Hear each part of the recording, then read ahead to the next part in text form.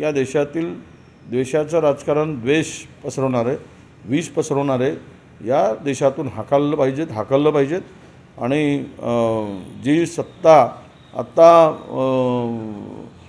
या देशात चालली आहे सर्व देश उद्ध्वस्त होताना ही सत्ता उलथून लावण्याचा एकमुखी निर्णय इंडियाचा आहे. त्यामुळे मला वाटतं की कुठेही अडचण येणार नाही. प्रियंका गांधींना नोटीस बजावलेली आहे निवडणूक आयोगाने मध्य प्रदेशच्या निवडणूक नाही आता ते निवडणूक आयोग खिशात घालूनच फिरत आहेत निवडणूक आयोग काय झाला आहे निवडणूक आयोग हे खरं तर बी जे पीचा निवडणूक आयोग झाला आहे ज्या पद्धतीनं चालला आहे तुम्ही राम मंदिर रा रामलल्लाच्या दर्शनाला मोफत तुम्हाला दाखवू मत द्या म्हणून मागणाऱ्यांना नोटीस का नाही?